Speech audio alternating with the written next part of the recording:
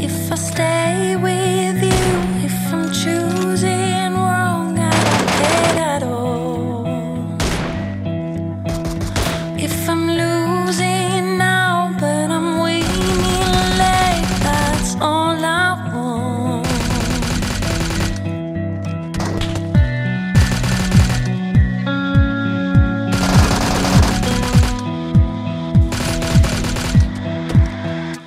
now we know.